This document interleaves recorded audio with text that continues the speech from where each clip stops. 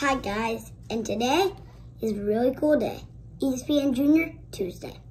And first on ESPN Junior Tuesday, we are going to be talking about the Raiders Browns game. So that game count came down to the last seconds of the game. Daniel Carlson hit a field goal that was that he made and um, with three seconds left, and then um, they were winning by two points, 16 to 14 but they were losing, but they were actually winning 13-7. Then the Browns score a touchdown. Um, uh, I think Nick Chubb. No, no, someone else. Um, and then um, they get the extra point, so the Browns are winning 14 to 13. Dana Carlson had a big day. Um, and then, then the Browns, um, so then the Raiders get the ball back with like two minutes left. They have to spend two minutes, get to like the 20 or 30 yard line, and then kick a field goal. That's what they did. Their field goal, I don't know, I think it was about 30 yards. Um, it was, it looked, it, I actually couldn't see the game because, uh, you know, I live in Connecticut. So, I couldn't see the game because uh, it was, I think, in um, Cincinnati. Um, so, um, I couldn't see it. Um, but um, I looked at it on my phone and it, I think it said at Cleveland 20 when I kicked it, or it might have said at the Cleveland 30, so then it was probably a 40 yarder. Um, but I'm not sure. It's one of those.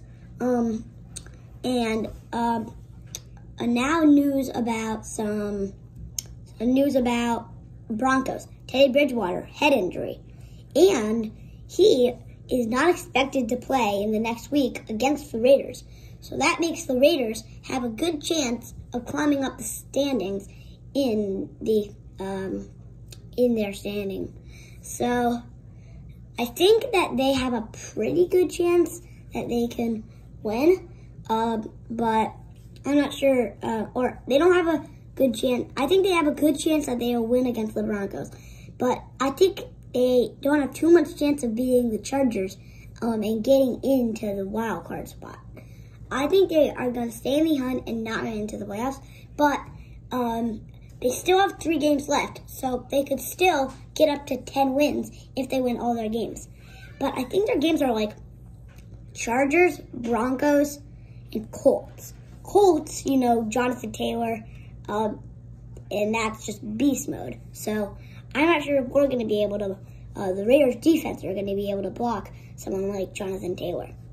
And in the Chargers game, last game, I think they won 28 to 14. So we should be ready for the Chargers to have the same exact players, those good players that they can do.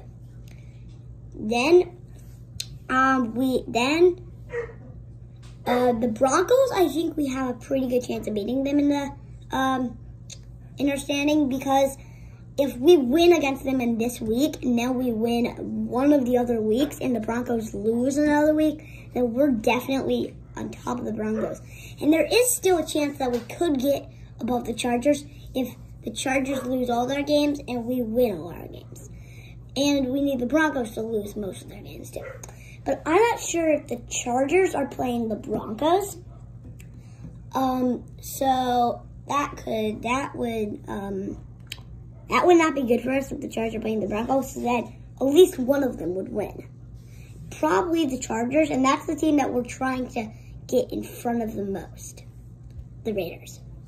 So now we're going to talk about the Colts Patriots. Uh, I think 27 to 17.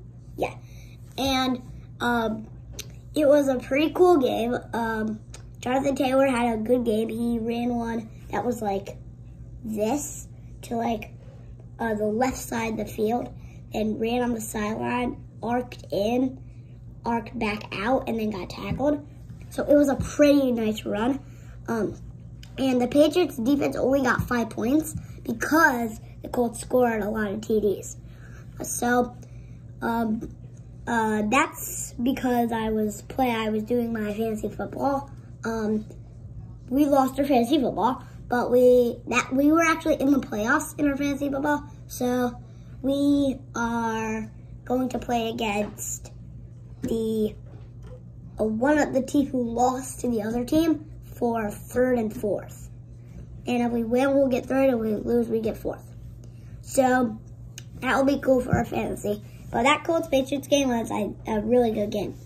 Um, now, um, hmm, maybe we'll talk about the upcoming games. Uh, so the Seahawks against the Rams game. I think the Rams have a pretty uh, good percent chance to win. I'm calling about like Rams by 14. Um, and in I think it's Washington against Washington against